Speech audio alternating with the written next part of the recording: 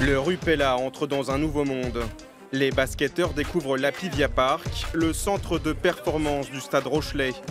Une salle de musculation flambant neuve, partagée avec les espoirs du club de rugby. Loin, très loin des séances de préparation physique quasi amateurs des saisons passées. On finit par un travail d'épaule, développé militaire, élévation frontale, élévation latérale. C'est bon pour ça? Des équipements dernier cri et un encadrement spécialisé. Le Rupella est choyé par son hôte.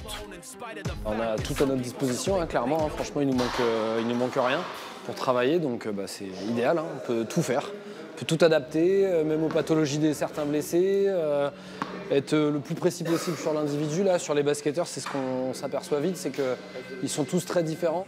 Faisal Sarawi enchaîne les squats. 80 kg de fonte soulevés plus de 50 fois. Le joueur le plus ancien de l'effectif, au club depuis 8 ans, se félicite du changement de dimension du Rupella. Beaucoup plus rigoureux. Euh, on est accompagné, comme je l'ai dit euh, précédemment.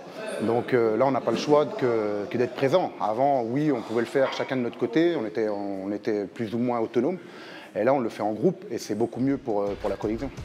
Un pas vers la modernité sans pour autant oublier son histoire.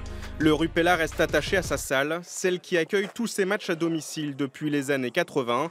Tout juste l'antre Gaston Nevers connaît un petit lifting.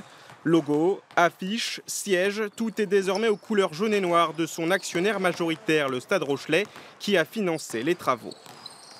Pierre, sur ta main droite, là. Ok, fort.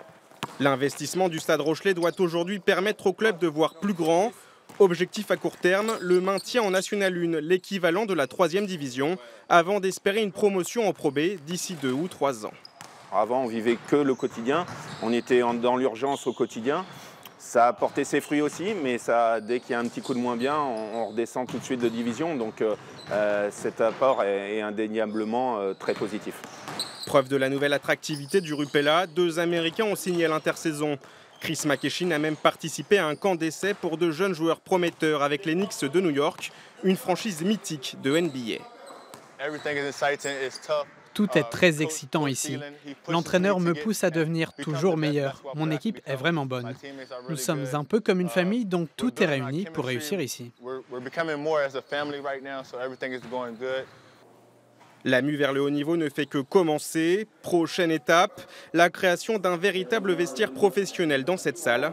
La livraison est attendue courant octobre.